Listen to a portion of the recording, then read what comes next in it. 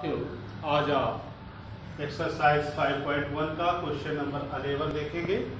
इसमें आपको 11 टू 13 जो क्वेश्चन दिए गए हैं, उसका मल्टीप्लिकेटिव इनवर्स फाइंड करना है। तो आइए मल्टीप्लिकेटिव इनवर्स फाइंड करने के लिए हम उसका रेसिप्रोकल ले लेते हैं। Multiplicative inverse of 4 minus three i is equal one upon four minus three i यही आपका आंसर हो गया। लेकिन यहाँ पर आप देख रहे हैं कि डिनोमिनेटर में जो है, आपका term four minus three i है।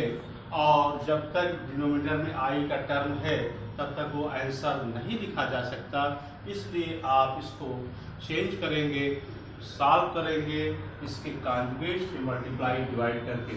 फोर माइनस थ्री आई का कॉन्जुगेट आप जानते हैं फोर प्लस थ्री आई से डिवाइड कर दिया जाएगा और मल्टीप्लाई कर दिया जाएगा।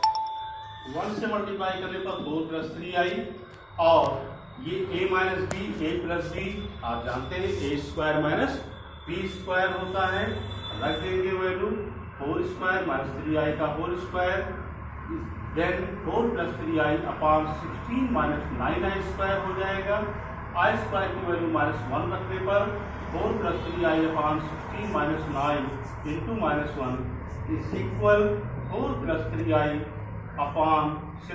plus nine then four plus three i upon twenty five अब ये आपका वैल्यू जो है सॉल्व हो गया तो इसको आप सेपरेट कर सकते हैं। Four upon twenty five plus i into three upon twenty five यही रिक्वायर्ड वैल्यू हो गया। इसका मल्टीप्लिकेटिव इनवर्स जो है फाइंड आपने किया। इसके बाद आपका ये आंसर होने के बाद आप नेक्स्ट क्वेश्चन भी इसी प्रकार कर सकते हैं और अगला क्वेश्चन आपको कल बताया जाएगा।